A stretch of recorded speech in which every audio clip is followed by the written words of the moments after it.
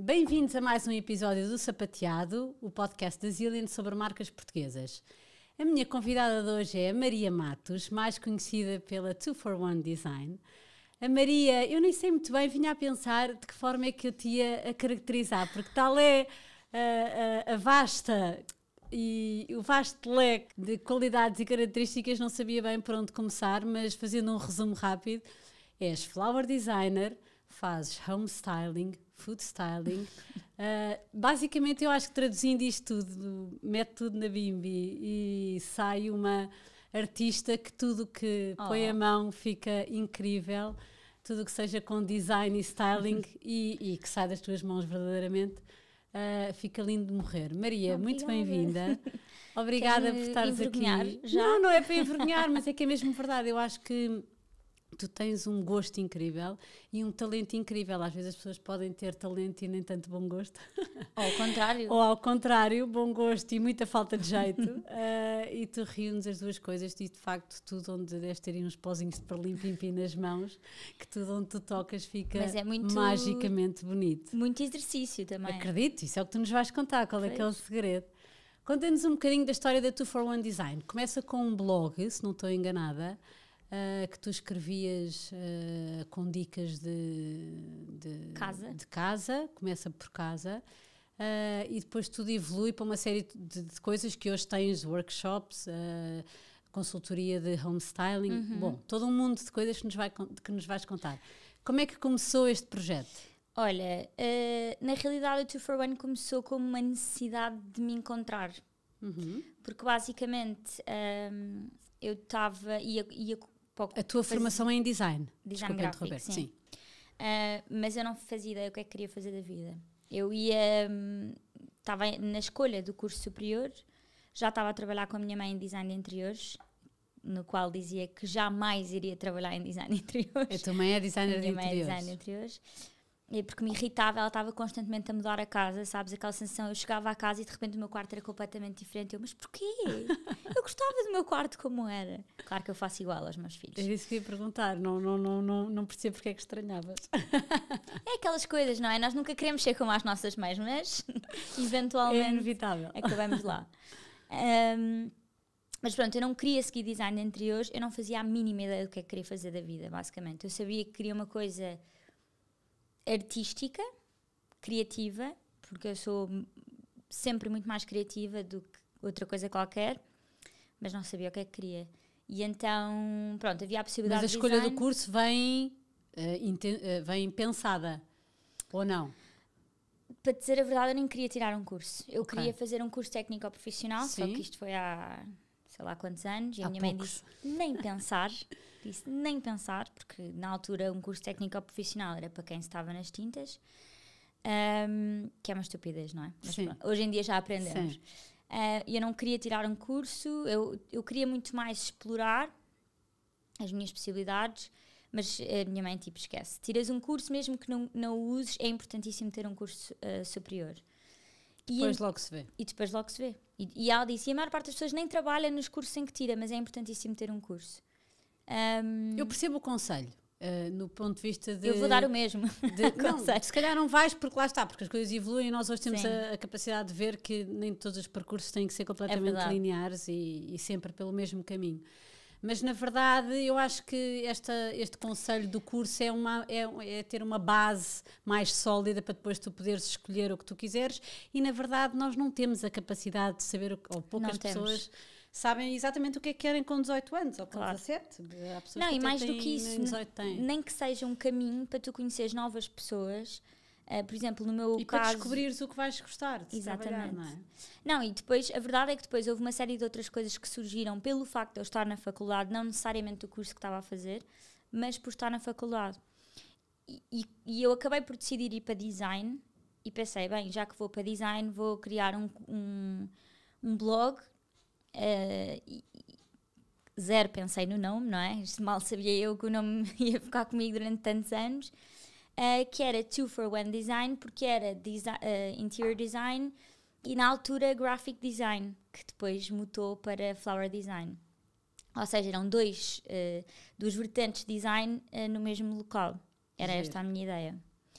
Um, e eu lá, eram como todos os blogs do mundo, não é? Eu escrevia para mim própria, mais ninguém via, nem os meus amigos viam, estás a ver? Tipo, pronto, não.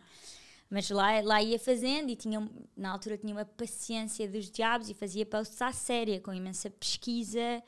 Todos os dias fazia um post, seja ótimo ou não seja. Um, e qual é que era o teu objetivo com esse, não post, tinha. com esse post, com esse blog? Era ir buscar inspiração sobre as coisas que gostavas? Na prática era automotivar-me a, a que aquele curso efetivamente desse alguma sentido. coisa. Pronto. Uh, como tinha a par, como trabalhava com a minha mãe na, na empresa dela, tinha uma componente de design de interiores enorme e eu fazia muita obra, ia muito com elas, portanto tinha essa parte dos materiais e não sei o quê, que era uma coisa que na altura não se via muito, nem havia muitos blogs de homestyling, para dizer certo. a verdade. Uh, e, e, foi isso que começou a acontecer, ou seja, a parte do design gráfico, eu fazia muito colagem digital, acabou por se perder um bocadinho porque isso já havia, mas o homestyling havia muito poucos blogs a falar sobre casa, ou maioritariamente sobre casa, porque tinhas muitas eh, influências de moda Sim. que depois falavam da casa, mas só casa havia muito poucas.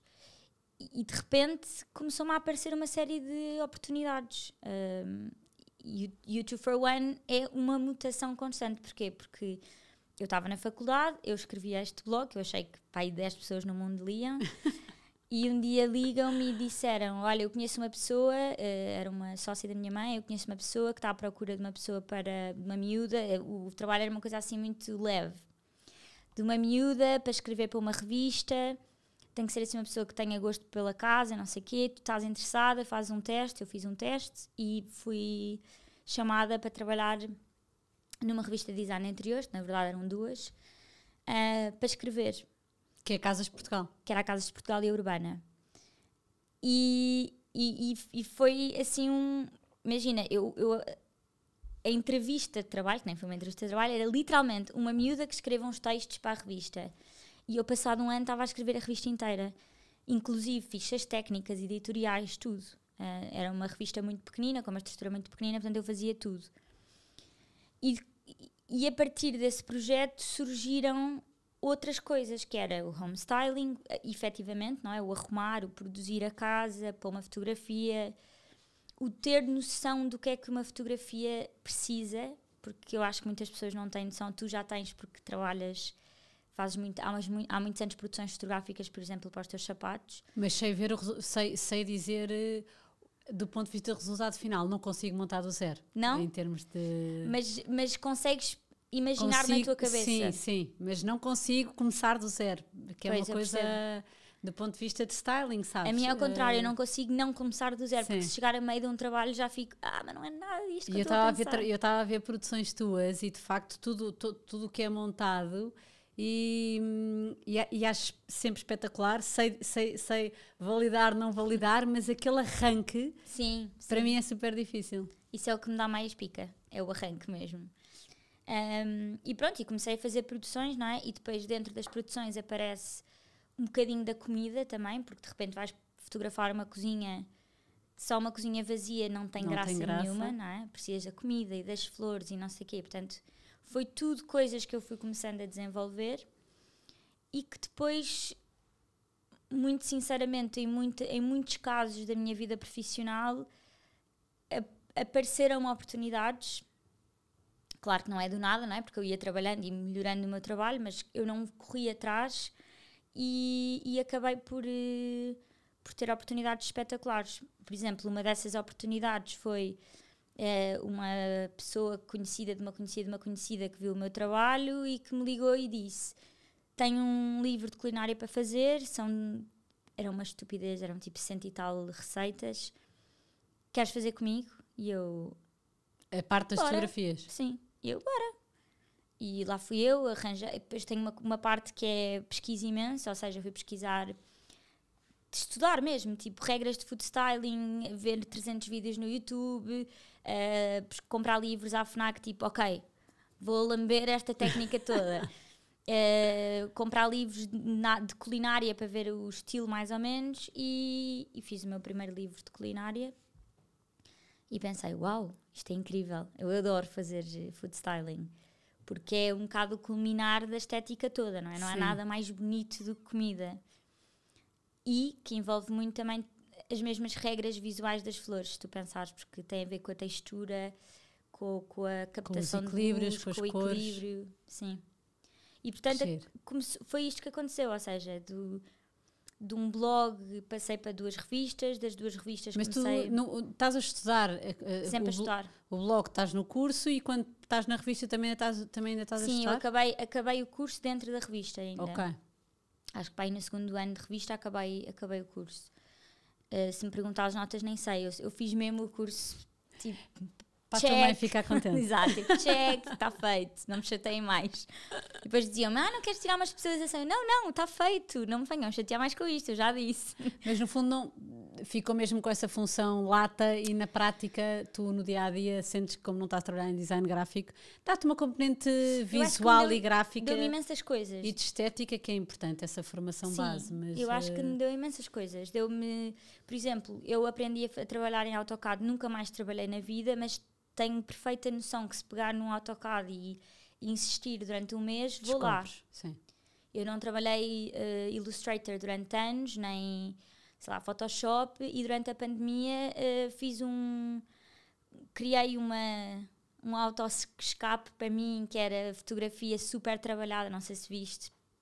Ahm, assim, tipo quadros renascentistas em que eu Vi, fotografava estava e fazia incrível, sim. E não mexi há anos, mas sentei-me no computador e insisti um bocadinho e consegui ir lá. E, e, e depois só pensava, de facto, eu tenho estas componentes todas aqui guardadas, eu não as ponho em prática, mas se eu, se eu quiser, se calhar consigo lá chegar. E, e além disso, deu-me um monte de outras coisas. Eu era uma miúda da aldeia de Cascais, estás a ver? Portanto, ir para a faculdade, conhecer 300 mil. Nunca tive dificuldade em conhecer pessoas, mas entrar em grupos diferentes, o ir sozinha para aqui, o fazer, o acontecer, tudo isso, eu acho que são enormes Sim. vantagens. Mas depois do, cur- do curso prático, acho que muitas bases são super importantes, mas também tem a ver, especialmente cursos criativos, tem muito a ver com a pessoa. E com o Sabes? tempo que tu dedicas e o que é que queres investir nisso. E tu vinhas com uma base também de trabalho que eu acho que é super importante da tua mãe, não é? De estás a trabalhar com a tua mãe e, e quanto mais cedo, de facto, começarmos a trabalhar e percebermos ah, como é que na prática isto funciona, ah, validas ou não o que estás a aprender na faculdade. E eu sempre trabalhei, tipo, trabalhinhos pequeninos Sim. e não sei o quê. E por isso, bem ou mal, não é? Claro que não trabalhei numa multinacional, mas tinha uma base de trabalho. eh, saber respeitar hierarquias, por exemplo, que é uma coisa que tu topas logo quando uma pessoa nunca trabalhou na vida, que tem imenso, sabes? Não é que tu não, não tens que ser tratado abaixo de cama, mas tens de ter respeito à pessoa que está à tua, a- a- acima de ti, sabes? Coisas mínimas. Sim. Um, ou, ou o género Educação de comportamento exatamente, o género de comportamento que podes ou não podes ter dentro do ambiente de trabalho eu acho que pronto, são coisas que toda a gente dúvida. aprende, não é? Mas pronto E então, estás na a revista? falar na revista e, hum, e pronto, surgiu o food styling. Entretanto, a meio da revista muito por hum, lá está, por gosto meu comecei a trabalhar muito com as flores. E comecei a levar as flores para as produções e, e a compor, isto completamente à parte da revista, era uma coisa que eu gostava mesmo. Certo, porque estás na revista que é tudo à volta da decoração de casa, tens a proposta de fazer o food styling do livro e é agora que, faz, que entram as flores. Começa uma lógica paralela que começas Sim. tu a desenvolver. Tanto as flores como o food styling eu até acho que possam ter aparecido ou na mesma altura Em ou as flores simultâneo. até um bocadinho antes, mas eh, as flores foi uma coisa tão progressiva que, imagina, eu comecei a trabalhar com flores em 2016, mas eu só assumo um, um two for one ligado às flores em 2017, que foi Ok. quando eu efetivamente comecei, na minha opinião, a ser profissional e a ter a capacidade de, de vender um, um produto de flores. Um, e pronto, surgem estas duas oportunidades. Com o food styling, eu acho que, como eu tive um grande trabalho logo, o meu primeiro trabalho, e ficas com um livro na mão, a partir daí É um bom está portfólio. oficializado, não é? Com as flores foi diferente. Porquê? Porque eu comecei a fazer para a revista, mas nem sequer punhamos os créditos, eu não estava autorizada a pôr. Ahm, tinha as flores, não é? Depois, eh, quer dizer, fazia para um tio, fazia para não sei quê, fazia para não sei que mais. Até que a minha página 2 for One começou a ter imensas flores e aí sim começaram a surgir encomendas. Mas de onde é que nasce esse gosto de, para trabalhar flores? Sempre tiveste? A tua mãe Não também sei. trabalhava com flores Não, é tinhas em assim, casa? Eu tenho a perfeita consciência, aliás, no livro eu falo sobre isso, que é o meu primeiro contacto com flores de sempre foi no jardim da minha bisavó, que nós tínhamos aquelas casas antigas que eram tipo duas casas uh, juntas, uma em cima e outra em baixo. E, e em, em baixo vivia a minha bisavó que tinha um jardim espetacular e nós vivíamos em cima. E eu ia, passava tardes e tardes no jardim dela e adorava. Pegava e brincava com as flores e fazia, acontecia. Um, e depois tenho uma mãe que é design de interiores, tinha uma avó paterna que tinha uma loja de design de interiores e todas elas eram, e, todos os meus avós, todas as minhas avós, eram aquele género tipo um simples almoço de sábado era toda uma produção, sabes? Okay. Uma mesa cheia de flores, umas travessas todas arranjadas, arranjadas. sim. E portanto, isso, apesar de eu dizer que não sei de onde é que não, é uma educação estética que vem de sempre. Sempre. Não, há, não havia tipo a cena do põe aí a mesa, não. É, que pratos é que vamos usar? E temos umas flores, vamos apanhar ao jardim. Portanto, há sempre um cuidado por receber e como vamos receber. Que tu fazes igual? Que, que eu no, eventualmente no acabei por fazer mais igual. simples, tens sempre. Tento, tento. E, e veio daí. E depois, pronto, foi isso que eu te disse. É, é uma encomenda aqui, uma encomenda ali. Né? E por isso, se tu pensares bem, é muito engraçado que a minha empresa, não só eu nunca pensei que o Two for One ficasse um nome para sempre, não é? Um, como eu nunca tive aquela coisa do vou abrir uma empresa, vou fazer o packaging, vou fazer. Não, isso foi uma, uma mutação constante. Foi acontecendo. Foi acontecendo. Sim. Eu não planeava minimamente. E nem nunca pensei tipo, desistir de tudo e dedicar mais flores. Isso era. Estava fora de questão. Não, não, na minha cabeça não, mas eu acho que tipo, o, o António, o meu marido, a minha mãe, as pessoas que estão mais à minha volta e sabem que eu sou uma sonhadora, deviam achar: pronto, estamos feitos, esta agora vai, vai perder a cabeça, vai tirar com tudo e adeus. Porque foi um bocado isso que aconteceu, basicamente, com a revista. Eu estava super saturada, era um trabalho que eu não, não adorava o trabalho, mas não estava contente com a forma como, como, como me tratavam Sim. dentro da empresa. E depois, às tantas, houve um dia que eu pensei assim: espera, eu estou literalmente a negar trabalho de uma coisa que eu adoro para dar a cara por uma empresa que, se for eu a dar a cara ou se for o Zé da esquina, é a mesma coisa, tipo, não valorizam. Não, não, já chega. E, e, e, literalmente foi, foi isto que me aconteceu. Mandei um e-mail. Isso ao fim de quanto tempo? Três anos? Ou, não, não, quatro Mais. ou cinco anos. Acho que ia para o quinto ano. Mandei um e-mail e disse: acabou-se. Acabou-se, não contem mais comigo. Passei mesmo. Mas já estavas com uma base de trabalho na 2 for One em paralelo que, que, que, te deu força para isso ou foi mesmo só uma saturação total? Eu tinha muita procura e não conseguia dar oferta. Ok o que valia zero, não é? Porque se calhar. Não, não é valia zero, não conseguias dar resposta, estava ali potencial de trabalho Sim, que não estava a ser efetivado. Quer dizer, mas eu não tinha a certeza que se largasse tudo aquilo fosse dar em algum lado, não é? Só que também estava num trabalho em que não era não efetiva, estava a recibos verdes, em que não havia nenhuma perspectiva de crescimento e eu acho que a, valoriza a, valorização para mim é muito importante, eu acho mesmo. Eu adoro dar valor ao trabalho dos outros e gosto que deem valor ao meu. E acho que não é uh, mal nenhum claro em assumir sim. isso, porque eu acho que as pessoas. É tão fácil uh, dizer, ai, ah, estás a fazer isto porquê? Devias estar a fazer assim, porque é que as pessoas não dizem, olha, ainda bem que estás a fazer assim, parabéns. Claro. Acho que devia ser a mesma facilidade. E portanto, achei, olha, se, se, se eu não sou valorizada aqui, vou tentar Agora, um grande senão é o quê? Eu estava acabada de engravidar da minha terceira filha. Terceira já nessa altura? Íamos mudar de casa porque surgiu mudarmos de casa, não foi porque andávamos à procura, foi tipo uma oportunidade. E eu tive um chilique, não é? Literalmente. Aqueles momentos em que cegas, sabes? Sim, sei. Cegas. e depois acordas e pensas: oh, o que é que eu fiz? Estou lixada. Mas agora já não há volta a dar. agora não há volta a dar. Para a frente sou... é que é caminho. Não, eu sou aquele género de pessoa que é não vou deixar que as outras pessoas tenham razão. Ok? Certo? Eu fiz isto, mas agora vão. E então mandei o e-mail, despedi-me. Uh, ainda falei com eles e eu, e eu, tipo, não, não há hipótese, esqueçam isso, não, não vou voltar atrás. E há decisões que até podemos demorar um bocadinho a tomar, mas depois de tomadas estão tomadas. É aquela é? sensação. Parece que fiquei a voar, sabes? Sim, saíram 300 quilos das costas. quilos das costas. E eu pensei, se, se eu me sinto assim, alguma coisa há de ser. o senão, o António estava numa despedida de solteiro. Eu peguei no telefone e disse: António, eh, como é que eu tenho de dizer isto? Mas havia aí um plano B ou não? É assim, Havia um se isto não correr bem. eu liguei. fechaste a porta, não é? não foi o caso de deixares uma porta aberta. Não, não, não, e não iria, nunca voltaria para esse caminho. Porque eu depois sou este género de pessoa, que Sim. é, sou hum, sempre para a frente e nunca para trás. Sim. Para mim não faz sentido. Não, a- havia um plano B, quer dizer, também estou a dizer isto de uma, uma forma super romanceada, não é? Eh, Eu, eu ia, tinha, ia ter o meu terceiro filho, o António é obviamente uma pessoa que tem um, empre- um emprego estável, portanto, passar fome nunca passaria, mas o que eu disse ao António, e era o que eu tinha na minha cabeça, era se alguma coisa não correr bem, eu pus na minha cabeça seis meses, que era literalmente o tempo da, Leonor- da Luísa nascer. E disse: se durante estes seis meses eu não conseguir ter um, uma marca sólida, se eu não conseguir fazer dinheiro disto, vou lá, vou para onde for Partimos preciso. para outra. Eu vou para onde for preciso, vou para um supermercado, vou à procura do trabalho que houver e eu faço.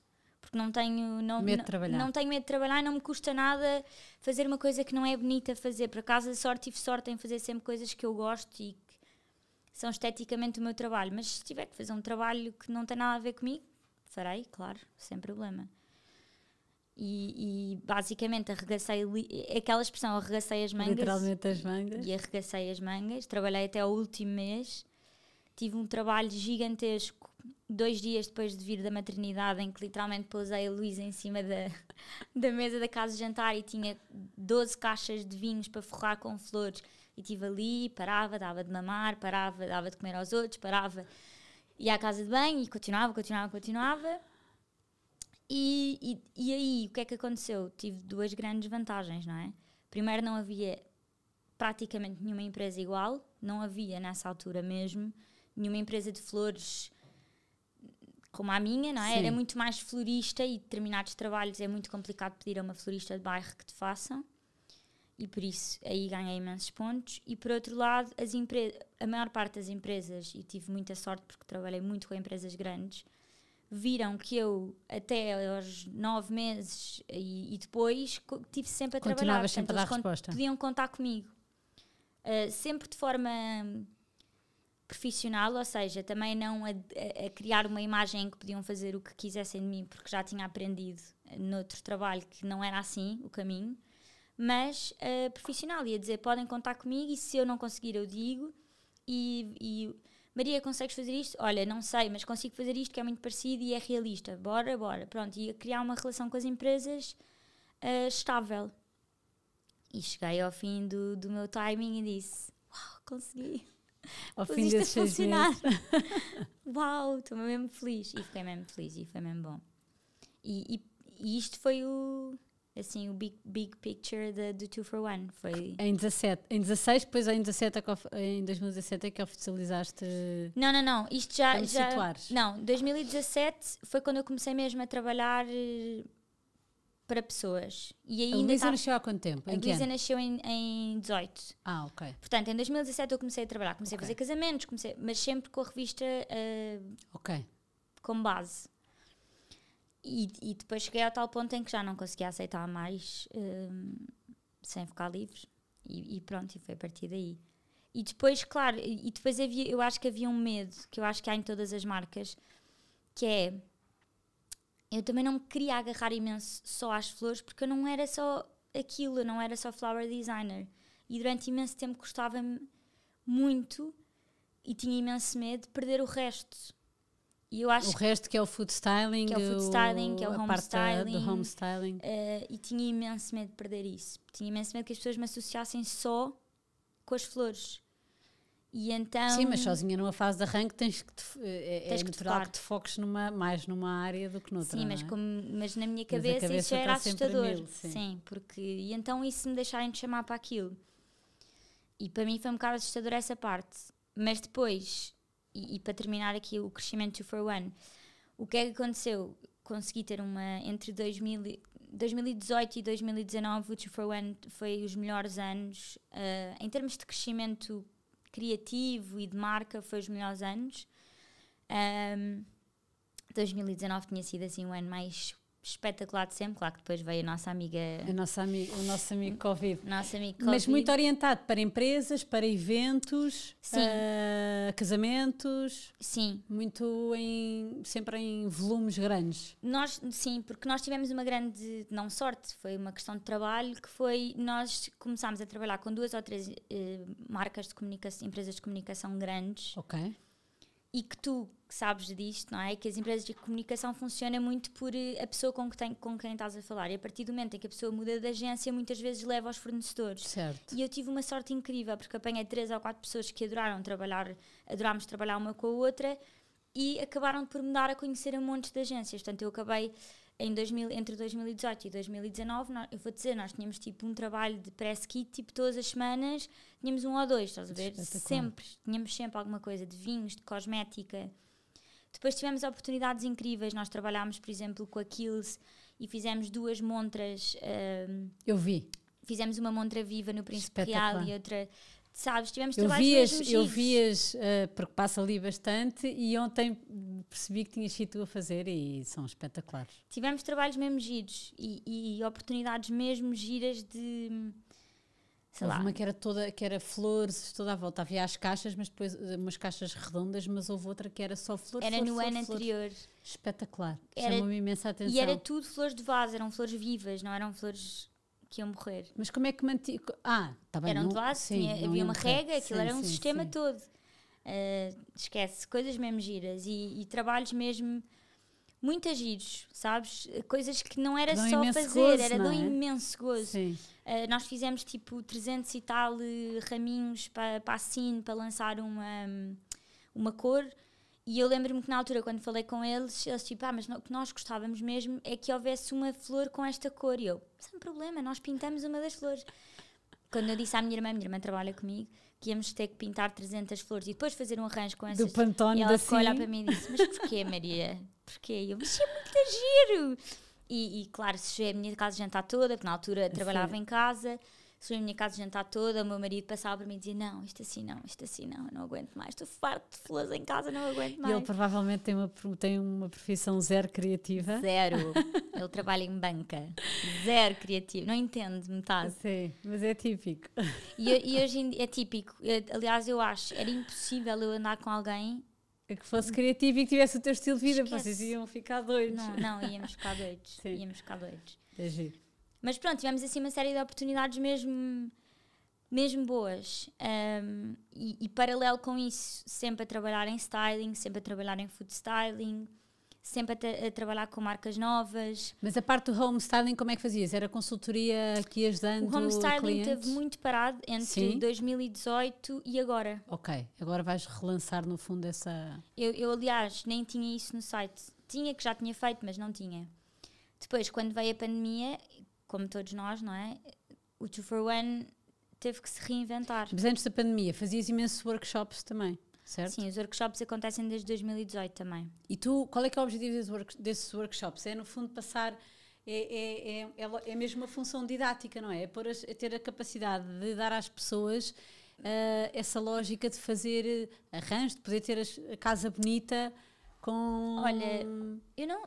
eu- sabes que os workshops. Ou é dar o gosto, pôr, é semear esse gosto... Acho que é mais isso. Sim. Ou seja, muito, hum, cansava-me aquela, aquela lenga-lenga do ai, que tens tanto jeito com flores, pois isso é um dom. Sim, certo, pode ser um. um- Mas eu sou haver um dessas, que eu sou muito trapalhona Então de tens que mãos. vir muito a um workshop. Eu, eu, aliás, quando os meus filhos têm trabalhos da escola, eu faço um esforço enorme, porque eu sou muito visual, mas depois de mãos, não, pronto, não, não, Mas isso é um trabalho. não tenho jeito nenhum. Isso Sim, é um é trabalho. falta de treino. E eu, primeiro, adoro, adoro, adoro, adoro, adoro eh, ensinar, mesmo. E, e adorava um dia ehm, conseguir ter.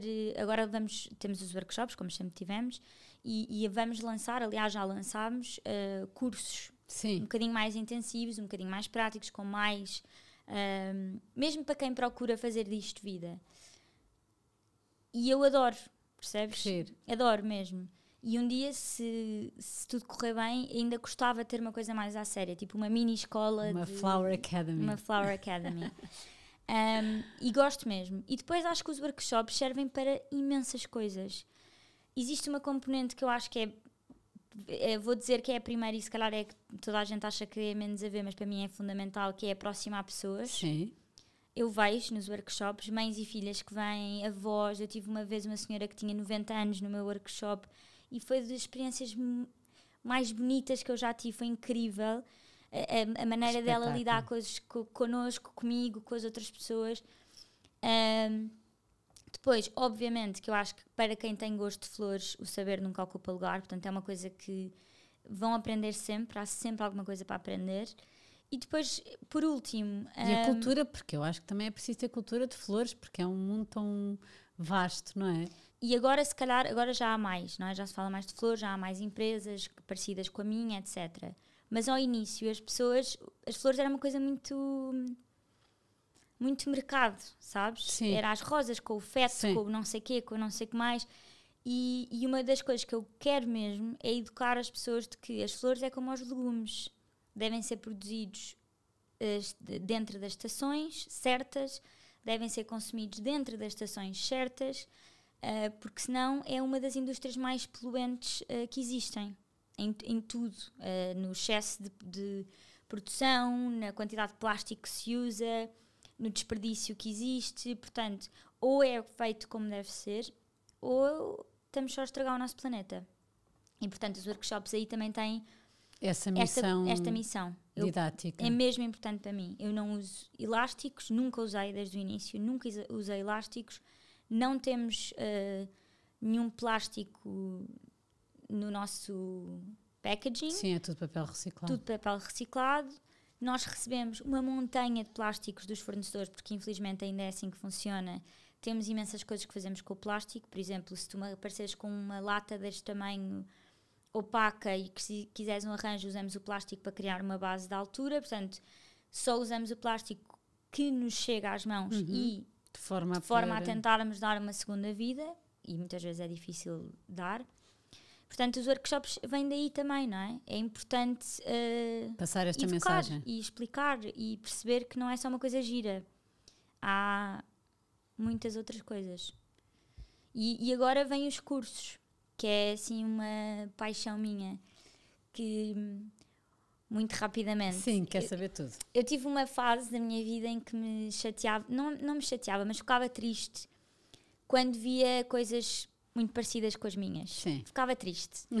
Porque sou uma pessoa criativa e por isso, para mim, é impensável pegar Olhas num para o lado e produto, copiar. pegar num Sim. produto e pôr. É impensável, não, não me passa pela cabeça. E ao início não ligava, depois houve uma fase em que tinha muitas clientes que me massacravam a dizer já viu que não sei o que, não sei o que mais, já vi. E isso deixava-me, olha, assim, sabes? Ficava furiosa. E Mas depois, quando é que vai à frente ilumina, não é verdade? sim, mas não quer dizer que não te deixe de, de chatear um bocadinho. E depois aconteceu uma coisa que foi duas situações de pessoas que foram a workshops meus e que abriram empresas tipo no espaço de um mês Ok. e que nem me disseram, ou seja, podiam ter chegado lá e dito: Olha, Maria, eu estou a fazer isto porque quero abrir o meu projeto. Ótimo, estás a ver? Ótimo. Já me aconteceu com duas pessoas eh, que me disseram: Olha, eu estou a fazer isto porque quero abrir um projeto. E eu, ótimo, que se precisares mais alguma coisa, diz, deixa-me o teu contacto. E até trabalhei com essas pessoas depois em projetos grandes que fui buscar, quando preciso de mais mãos. Mas estas duas- Exato. Há não é? mercado, não é? Faz sentido. Podemos nos juntar. Mas esta atitude do, pela Sim. calada chateou-me. E fiquei sempre com aquela na Mas cabeça. tens razão para te chatear, acho. Não que- é?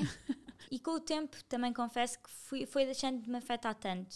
Porque acho que tu às tantas E o caminho tipo. é de cada um, Maria, e depois eh, as coisas. Não, e O tempo encarrega-se de pôr tudo no é lugar isso, certo. É isso. Eu acho portanto, que É natural que haja aquela irritação inicial, mas Sim. depois distancias. distancias-te e às tantas pensas tipo, não, mas é que não, porque não tem nada a ver e não, não, pronto.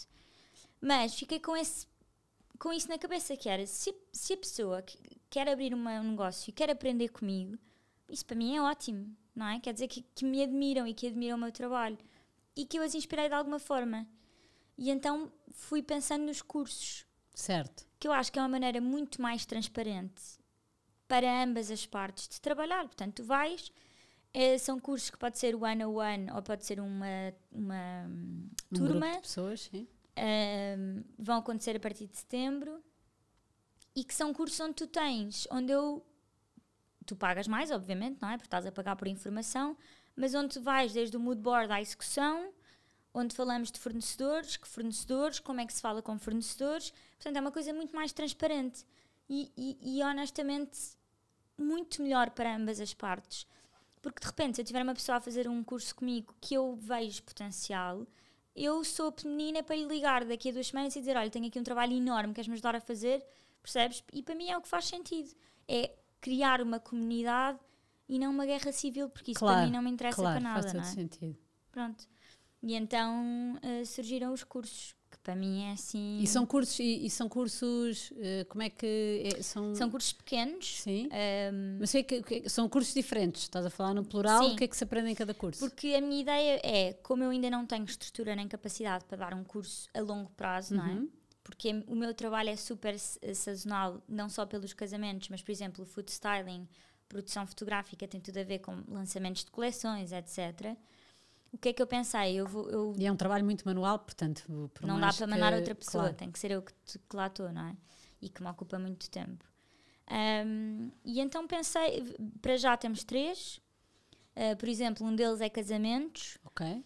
ah, em que tu são seis horas, ah, do- dois dias, três horas, três horas, em que tu desenvolves um mood board, ahm, porque acho que é muito importante as pessoas às vezes falam das flores como se fosse criar uma peça de roupa, mas não é. Tu estás dependente da natureza e do que a natureza eventualmente te dá, não é? Não tens o branco pérola sempre, não tens o, o bordeaux, não é? Tens que trabalhar um bocadinho com aquilo que existe. Portanto, desenvolver um mood board, pôr esse mood board em prática, como ir à procura desse, desse material e depois fazer um centro de mesa. Isto, isto é focado em casamentos, portanto, um centro de mesa, um buquê e um acessório. Pode ir desde a lapela até uma coroa. E desenvolver e, e ter uma linha de continuidade em todos os, os acessórios e fazer com que isso seja hum, real ao teu inicial mood board, porque é isso que vais mostrar a uma cliente, não é? Certo. Pronto. E depois, hum, por exemplo, tens outro que é uh, Flow- uh, Flower Design 101, isso eu tenho sempre, que é as bases todas, hum, desde aquilo que eu estava a dizer há bocado, não é? Que flores é que deves comprar, em que época, porque é que deves comprar, que flores é que deves evitar para determinados trabalhos, hum, e aí mais uma coisa mais técnica e mais básica, mas que E é estrutural, super, não é? super importante de, de tudo. super importante. Que materiais usar em quê?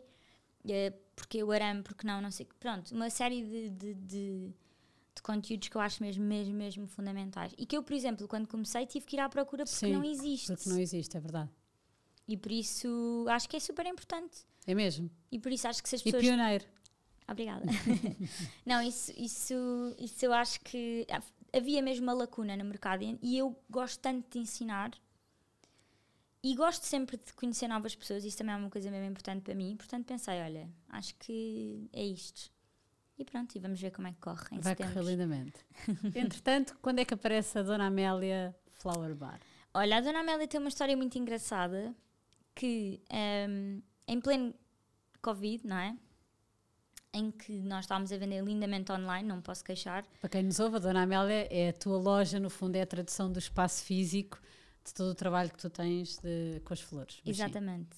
Ehm, então, em plena pandemia, não é? Pá, aí, sei lá. Foi mesmo em plena pandemia. Ligaram-me para aí em maio eh, uma pessoa que eu conheço que tem uma loja no espaço Cidadela Cascais e que me disse: Olha, há um, a- Cidadela vai ter que fechar, não é? Porque aquilo é um hotel, é uma pousada. Vai ter que fechar por causa da pandemia, mas aquilo é um espaço protegido e existe um interesse de manter qualquer coisa aberta. Porque há muitos turistas que eventualmente vão lá, sem ser turistas, há pessoas que vão lá.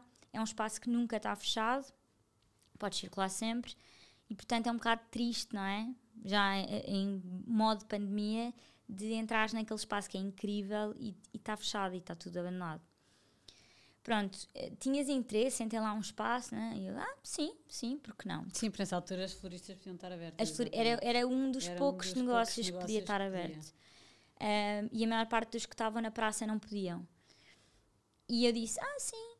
E falei com, com, com o Cidadela e, e eles disseram olha, só um senão, é que o único espaço que nós temos é a bagageira, que era as pessoas que só estão a ouvir, é do tamanho de um quiosque de rua. tu conheceste, tu sabes. E eu disse, e, e de repente estás a dizer isto a uma pessoa que trabalhou tipo 10 anos em casa e que o que eu queria era, Era ter um um sítio para ir. Eu até podia ir Podia à esquina, mas quadrados. esquece. Tipo, Tem desde que, desde que eu coubesse assim lá dentro, eu, eu ia. E eu disse, sim, quero, já, vou, não sei o quê. E então, e então, pronto, e comecei a pensar, ok, vou ter um espaço, não é? Two for one, depois pensei assim, Tudo ao contrário, Maria, quer dizer, agora tu estás 10 anos a trabalhar em casa, quando todas as pessoas vão para casa, é. tu sais de casa. Pois foi, nunca tinha pensado nisso. pois é. Ahm, não, e tudo ao contrário, porque de repente, sei lá, eu disse às minhas amigas, ou disse a toda a gente, ah, vou ter um espaço, ah, vai ser um espaço two for one. Eu, não, eu, eu decidi Mas que não é que vai se- ser o two for Certo, one. mas eu quero perceber esse processo. Não te sei Porque explicar fundo porquê. está uma marca criada e, E é quando vai ridículo. para a rua nasce outra. Não, não é nada ridículo. Eu acho, eu acho que tem imensa graça e porque no fundo tu vais explicar isso de certeza, encontraste personalidades diferentes em cada uma das marcas e por Uhum. isso é que quiseste distingui-las. E porque Two for One não são só flores e a Dona Amélia é. Óbvio. Mas eu acho que isso é a parte mais óbvia trauma de de, não querer ficar só agarrada às flores é uma coisa que te empurra Completamente. a não. Eu, eu- houve, houve duas coisas. Lá está, porque eu sou muito visual. A primeira vez que eu fui ver o espaço, e eu adoro história, sempre adorei, história de arte especialmente. Sim. Quando eu entrei, eu pensei, pá, isto é um sítio É um sítio incrível, Incrível. mesmo. Sim, incrível, sem dúvida. que tem imensa história e que tem imensa história militar, tem imensa história porque existe o palácio, tem imensa história porque, porque eu sei muito, sabia, sei minimamente de história, mas o básico de história e sabia que os reis passavam lá o, o verão e achava isso mesmo giro porque é, não é um palácio alto, é uma coisa eh, acessível Térrea, perto das sim. pessoas, estás a perceber? Eu sempre achei isso giro, que não era aquele palácio Próximo. Exuberante, não, era uma coisa muito mais low-key. E eu pensei, não sei, há aqui, há aqui qualquer coisa, sabes? Há aqui uma magia diferente. E depois hum, Sentiste um bocadinho princesa também ali no meio? se- sen- senti que o espaço era tão especial. E há aqui, um- há aqui uma coisa importante: é que o acordo inicial é que eu ficava lá até ao fim da pandemia. Ou Ok. seja, não era uma- um espaço permanente, era um, Certo. seria uma pop-up, imagina, sem fim previsto. E algo me disse que não ia ser assim. Sabes aqueles feelings? Tipo, Sei. Sim. eu acho que não. Eu acho que o que vai acontecer aqui, até pode não ser aqui pa- para sempre, mas, Mas, eu vai acho ser o início. é o início de uma alguma nova coisa. era. E então chateava-me continuar com um Two for One que eu adoro de coração e nunca vou, acho que nunca vou libertar-me, mas que não foi uma marca pensada, Certo. minimamente. E de repente sentei-me a, a ligar para a minha irmã e disse: Olha, Matilde, porque a minha irmã trabalha o meu braço direito, e disse: Olha, Matilde, estou com imensa vontade de não chamar Two for One. E ela: acho isso um bocado arriscado, mas não sei. O que é que- Mas tipo o quê? Queres chamar o quê? Eu disse: Não sei, queria apetecia uma coisa que tivesse alguma coisa a ver com, com, com este espaço e que. Que as pessoas chegassem, as pessoas locais ou os portugueses chegassem e dissessem Ah, é porque nananana. E que os estrangeiros perguntassem Mas porquê que é? E eu explicasse Olha, porque nanana. Mas não tinha a mínima ideia. E então, hum, eu, eu, tenho, eu sou viciada em, filme, em podcasts e vídeos de YouTube de história.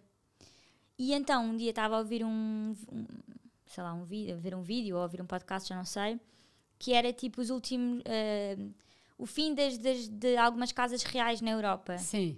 E de repente eles, eles dizem hum, a última rainha de Portugal, Dona Amélia, não sei o que, Dona Amélia, e eu comecei a pensar, hum, Dona Amélia soa-me, sabes? Soava-me. E eu, hum. Fui, cheguei a uma livraria e comprei um o primeiro livro que me apareceu à frente de Dona Amélia. Acho que provavelmente até era o pior, porque hoje em dia já li outros e era fraquito, mas pronto.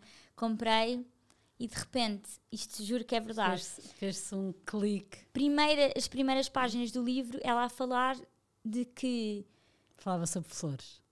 primeiro sobre sério? tinha uma componente de flores muito grande, mas isso mais para a frente, mas as primeiras páginas falava de que ela nunca tinha sido tão feliz do que quando estava em Cascais e Sintra. Espetacular. E depois, mais para a frente, percebi que ela dormia efetivamente no- na cidadela, portanto, ela passava lá férias. E que fazia passeios a cavalo, uh, que não existia nada, não é? Entre a Cidadela e o Guincho, e que nesses passeios tinha, tinha muito o costume de apanhar flores, que era uma coisa que ela gostava muito de fazer. E eu pensei, tem tudo a ver, isto é espetacular. Ela, eu assim, ela falou comigo, ela falou comigo, ela mandou um sinal. isto é um sinal. E depois até houve uma coisa que eu disse à minha irmã, tipo, eu Tens quero... essa história no site, Maria. Pois tenho, mas acho que eu sou é terrível a fazer essas coisas. Mas é que essa história é espetacular, é mágica, tens mesmo que escrever. Pois tenho. e, e, e, e há uma série de coisas sobre ela que eu acho que fazem imenso sentido fazem e que, imenso e que, sentido, e sabes? Que, que fazes ligação. Que fazem imenso sentido. Imagina, ela era hum, ela era uma de uma família real francesa que já não existia, não é? Já não existia o reino francês. Sim. E ela às tantas é tipo aquela miúda que casam com o português, não sei o quê, e ela se, se chega cá, imagina, e de repente o nosso rei, que até era giro, supostamente, não sei, mas a descrição era muito assustadora e que ela não se apaixona por ele, mas apaixona-se por nós enquanto país e fala muito na beleza, na beleza das coisas, na beleza da nossa arquitetura, na beleza da nossa, das nossas flores e da nossa de Sintra e do mar. Ela adorava os pescadores e eu a pensar, eu tenho família em Sintra, eu tenho família em Cascais, isto tudo para isto mim é, isto é mesmo faz sentido. Um chamamento. E vou-te contar mais um, um, silver lining que para mim foi tipo, estava destinado. O primeiro livro, não foi o primeiro, acho que foi o segundo, mas assim o livro que eu, tive, que eu fiz com mais importância e que teve mais reconhecimento de food styling uh, chamava-se Reis e Pescadores e era sobre as receitas que a Dona Amélia e Dom Carlos costumavam uh, comer e as receitas tradicionais dos pescadores na altura. E eu fiquei tipo. Isso antes do espaço. Isto antes do espaço. E quando eu comecei a ligar os pontos todos, eu fiquei tipo: tem que ser, tem que ser. E depois foi todo um processo, porque queria a cara, apetecia-me imenso ser uma marca com uma cara. Descobri que a Dona Amélia não era a, a rainha mais bonita do planeta, mas tinha qualquer coisa, sabes? Tinha raça e então usámos a cara da Dona Amélia. E, e só te digo que nunca, até agora, me arrependi de ter feito, de ter separado as águas. Primeiro porque é um, é um espaço, e tu conheceste o pequenino, que era minúsculo, mas que tinha qualquer coisa, sabes? Sim, sim, uma mística, é tem, tem qualquer coisa. Os estrangeiros adoram e perguntam sempre porque é que é a Dona Amélia e é, um, e é um início de conversa, que é sempre bom, não é? Claro. Os portugueses acham imensa piada e, e para mim foi a materialização de um sonho de desenvolver uma marca a sério, porque eu nunca tinha tido essa parte com o Two for One. Porque acabou sempre por ser um processo que foi avançando, não é? Avançando. E por isso foi tipo. Não faz imenso sentido, e um é serviço e o outro é produto. Um, um, um é loja. E, e é. Pronto, tudo o que é. Ou seja, eu distingo assim na minha cabeça. Tudo o que é produto pronto a usar, pronto Exatamente. a levar, Produtos é para vender. Dona Amélia. Exatamente. Tudo o que, que é são serviços. serviços, queres uma parede cheia de flores, queres do que for, isso é um serviço two for one. E para mim faz todo o sentido. E não estou nada arrependida. E agora, o, agora que mudámos de espaço. Agora a é? Dona Amélia cresceu. Imenso. Imenso. Está numa loja muito, com um espaço muito maior e que está incrível. Muito maior. Mas que. E que já não é uma pop-up, que afinal ficou Exatamente. e cresceu. Como é, que, como, é que, como é que surgiu essa.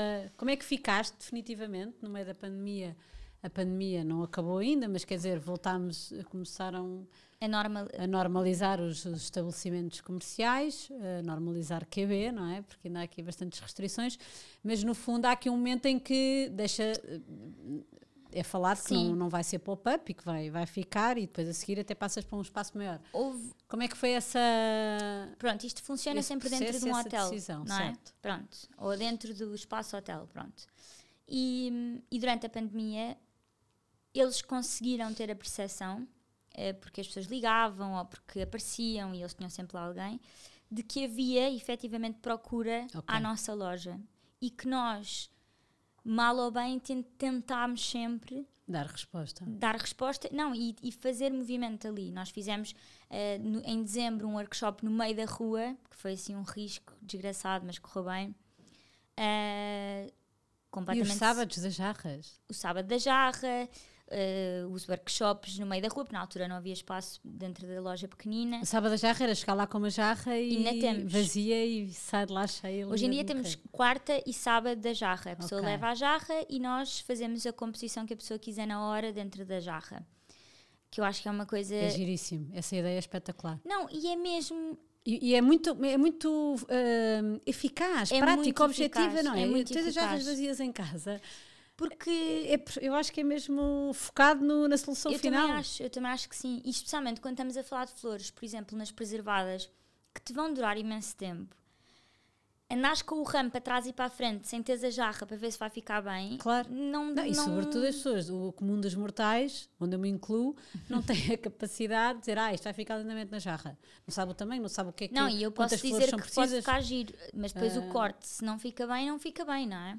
E tu olhando para a dimensão e para a profundidade consegues sugerir Consigo. uma coisa que faz sentido, não é? E fazemos diretamente na jarra, Claro. que eu acho que faz toda a diferença. Fica produto acabado mesmo, na- Mesmo. mesmo, e realmente sais acabado. de lá e é só Sim. pousar, que é uma coisa ótima. Pronto, e depois eh, eles perceberam que havia eh, esta procura por nós, esta resposta da nossa parte e, e de alguma forma eu acho, eu estava a comentar isto ontem com uma pessoa que era, eu acho que nós temos sempre uma vantagem face às outras lojas e também, por exemplo, eu vou a não sei quantos mercados físicos e eu sinto que tenho sempre essa vantagem que é, a minha banca é sempre gira.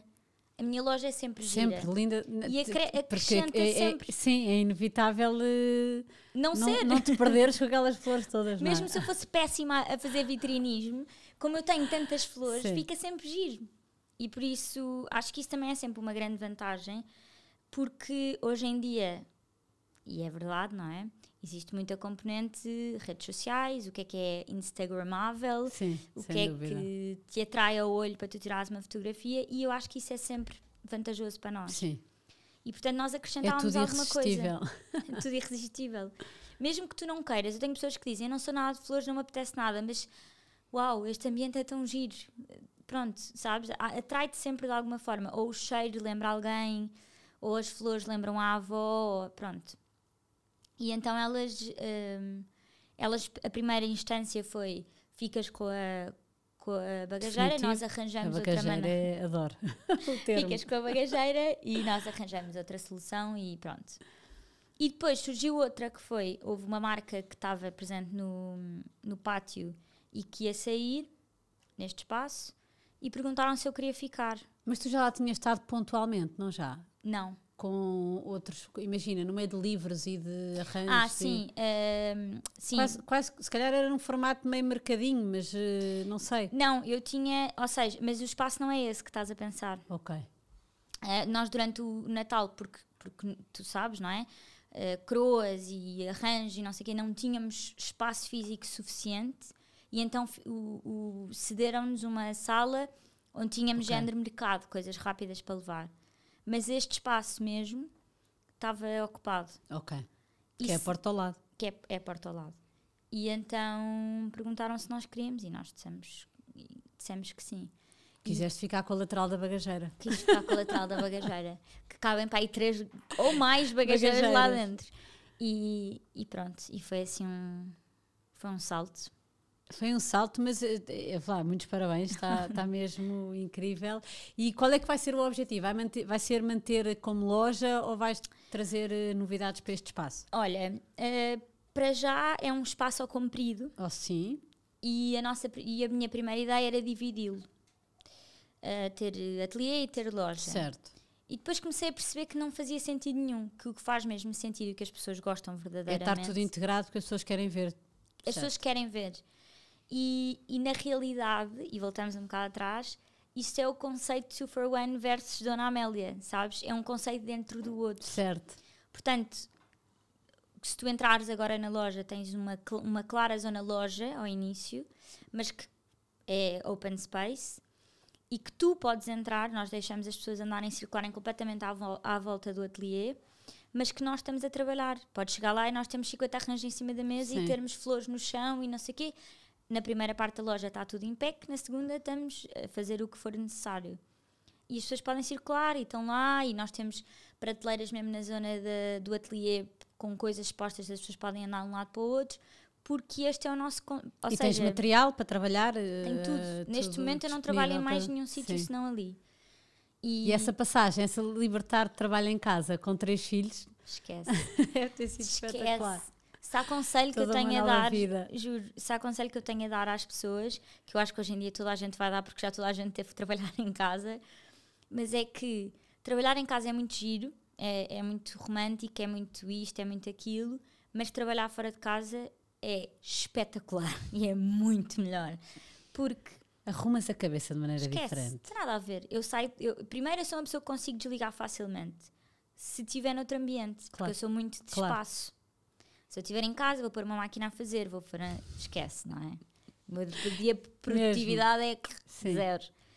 Agora, eu chego à loja e eu vejo isso desde que eu tive a pequena Dona Amélia até agora, que é há dias que eu estou, sabes, estás cansada, não te apetece fazer nada e estás moída e não sei o quê, mas tu entras num espaço e eu, pelo menos, como sou pessoa criativa, começo, estou desligada, não estou a pensar em nada, mas começo a ajeitar aqui, a pôr ali. Ah, espera lá, sabes o que é que era giro? Aquela já recolhe as flores, não é? De repente estou a criar uma Sim, coisa. já ligaste, sim, sim.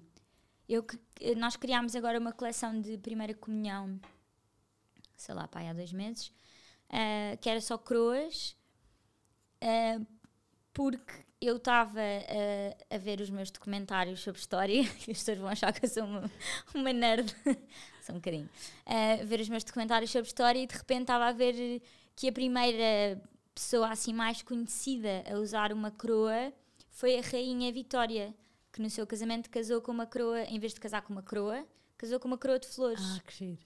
E ela tinha cinco filhas. E então eu pensei, ai, isto, espera lá, isto, isto é uma coisa gira. E então fiz cinco coroas, contei a história no Instagram e contei que cada coroa era uma filha da, dona, da, da Rainha Vitória e pronto, e eram coroas assim grandes e com presença. E foi uma coisa naqueles dias em que só me apetecia literalmente estar em casa, de pijama, sabes, esses dias. E que se estivesse a trabalhar em casa podia, tinha porque- sido zero produtivo. que zero produtivo. Não, e porque há uma coisa que é assim, eu obrigo-me a que pelo menos 90% do tempo tenha que ser eu a estar na Dona Amélia. Que eu sei que muitas marcas acaba por eh, a, a- a- a pessoa que está por trás ficar mais no back office e ter mais pessoas na, na linha da frente. No meu caso, eu prefiro milhões de vezes estar na linha da frente, dar a cara, estar lá eh, e, e dar-me a mim espaço para estas coisas acontecerem. Que é como eu não apetecia fazer nada, era daqueles dias que se eu estivesse em casa não iria fazer nada, mas como eu tinha que estar ali, tinha que estar naquele espaço, tinha que estar naquele trabalho, peguei na, na minha zero As coisas surgem, é Surgem. diferente. e, e tu estás-te a dar a oportunidade a ti de explorar coisas novas. Sim. E isso para mim é mesmo importante. Última pergunta, última pergunta não, agora de- desta, desta, Deste desta- deste rol de, de, de projetos. Como é que nasce o livro Flores para Dias Felizes? Flores para dias felizes. Bem, é o eh, último bebê, é o último bebê. quase em simultâneo com a Dona Amélia Maior, mas eh, ainda é, é posterior. Olha, é bastante posterior. Sabes uma coisa chamada pandemia? Não, estou a brincar. Então, ehm, em 2000 e, fins de 2018, para aí, não, sim, para aí, eh, ou inícios de 2019, já não sei. Ah, é anterior então? Sim. Não é nada posterior, o lançamento Ah, não, que é anterior, é sim, muito claro. anterior, não, sim, eu estava a pensar, a Dona Amélia é muito gaveta posterior. Pronto, e como todos os projetos, eu, eu- eu saio sempre destas coisas a achar assim, as pessoas devem achar que eu sou, tipo, as coisas caem de mão beijada na, Não, na mão, mas isso, não é Maria. isso que acontece, eu, Eu juro. acho que se a mensagem que tem, tem sido ah, frequentemente passada nestes podcasts é nada se faz sem muito, muito trabalho. Não, claro. Por eh, isso, nada cai de mão beijada. não, nada cai de mão beijada, estou a brincar. Mas. eh, e, e também não, não invento as histórias, eu juro que as coisas são assim. Eu basicamente estava a fazer um food styling para um livro eh, da Leia, da, da editora Leia, ahm, que já era para aí o meu terceiro trabalho com eles, se não estou em erro. E, e a editora, a própria da editora, vai visitar o último dia de, de fotografias uh, para ver como é que estava a correr, não sei o quê. E eu apanhei-a lá e disse: Olha, Marta, anda aqui a pensar. Adorava. Adorava fazer um livro e tenho aqui umas ideias, não sei o quê, assim, muito por alto. E ela: Ah, é? Então, olha, uh, pega no telefone, então daqui a uma semana consegues ir lá. E eu: What? What? Como assim? E ela: Consegues? Pronto, olha, então faz assim mais ou menos. Ah, beijinhos, adeus. E eu: Agora, estou feita, eu tinha uma ideia, não tenho nada. E, e fui para casa, não é? Típico, rabo de cavalo, uh, montes de pesquisa. A única ideia que eu tinha era que, que fosse sazonal, portanto, está dividido por estações do ano, Ok. o livro. Para passar essa mensagem das flores que fazem sentido, Queria em paralelo com os legumes. em paralelo com os legumes.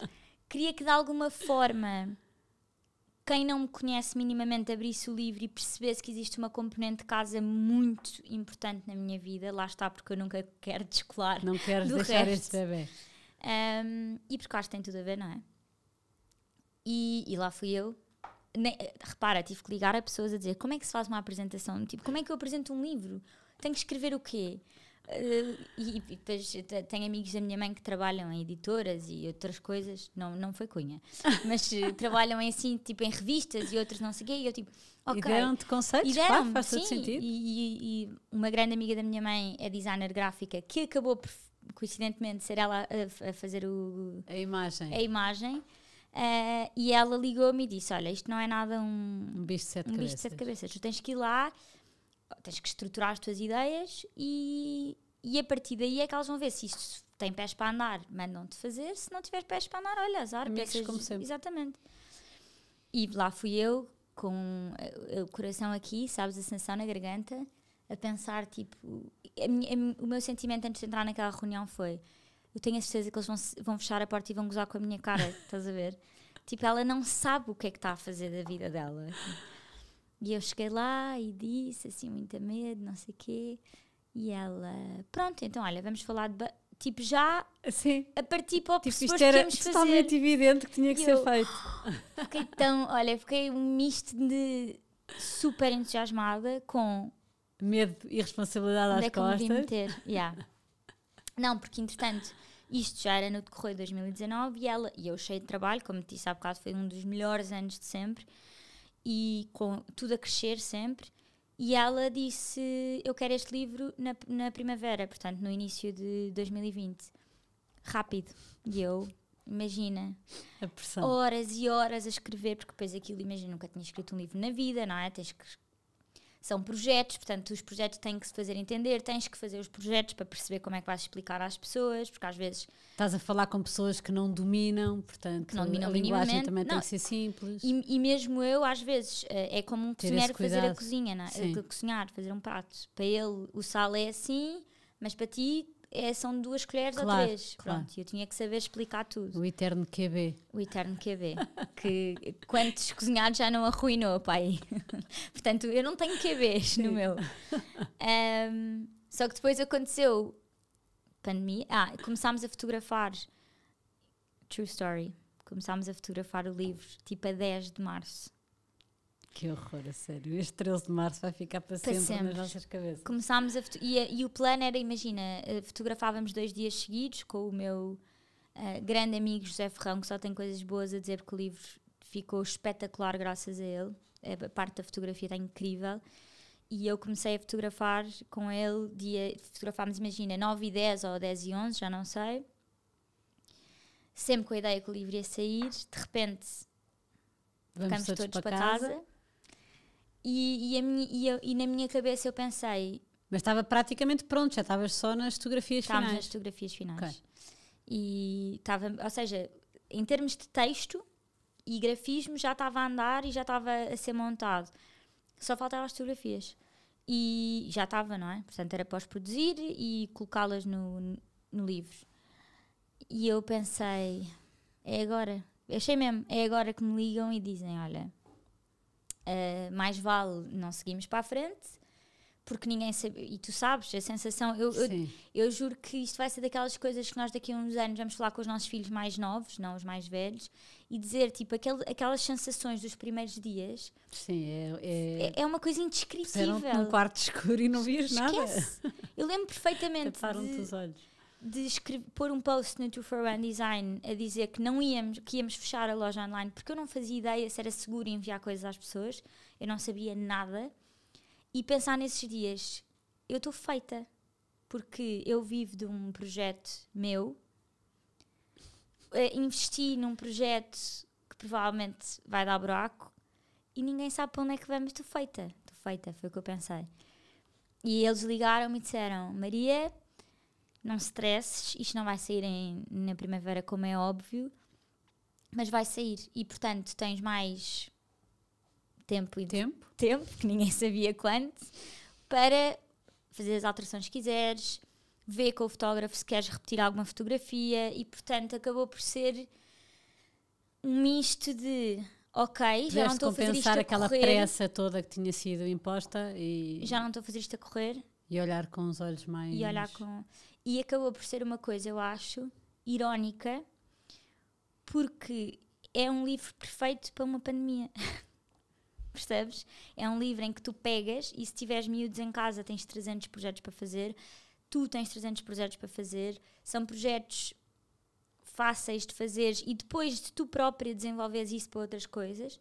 Portanto, acabou por ser eh, ironicamente positivo para o livro, mas saiu quase dois anos depois do que era suposto. Sim, mas este ano de pandemia não conta, não, Não é? conta. Este tempo não conta, Não tudo, conta. Tudo, tudo pa- parou o tempo para, para muita É coisa, portanto Mas saiu quando bem. tinha que sair Saiu quando tinha que sair. e está a ser um sucesso e vai continuar, tenho Espero a certeza. Maria, que conselho deixas para uma pessoa que pensa meter-se num projeto próprio e que não sabe bem ao que é que vai? Olha, eu acho que é mesmo, mesmo, mesmo importante gostares daquilo que vais fazer. Não é romântico, é mesmo, tens mesmo que gostar. Eu acho que ter um projeto é tão ou mais difícil, um projeto próprio, do que ter um filho. É um compromisso a longo prazo e o amor tem que ser eh, igualmente forte. E depois, ehm, não ter medo de começar, porque eu acho que isso é o, sinceramente, acho que é o, eu vejo à minha volta as minhas amigas que têm projetos dentro de uma gaveta e com medo, não tenham medo. Eu acho que o, o mais o mais fácil é tu errares no início e conseguires acertar o erro e chegares lá. O mais difícil é que se estiver dentro da gaveta tu nunca vais perceber qual é o erro nem nunca vais conseguir melhorá-lo. Exato, dentro da gaveta não melhoras. Não melhoras nem pioras, não acontece. E depois, uma que eu também acho muito importante é hum, pés assentes na terra. Eu, sou muito sonhadora, mas também tenho uma componente que é o que é que é realista. E é muito importante para um negócio o que é que é realista, ter sempre o sonho à frente, mas eh, a, parte realista, o que é que tu consegues dentro das tuas limitações, é muito importante, eu acho. Espetacular. para onde é que nos levam os passos da Dona Amélia e da 2 for One Design? Agora, Sim. olha. Eh, Acho que já falaste muita coisa aqui, eu também mas há acho que alguma, porque tens a, vamos ter uma academia, tenho a certeza que vai nascer.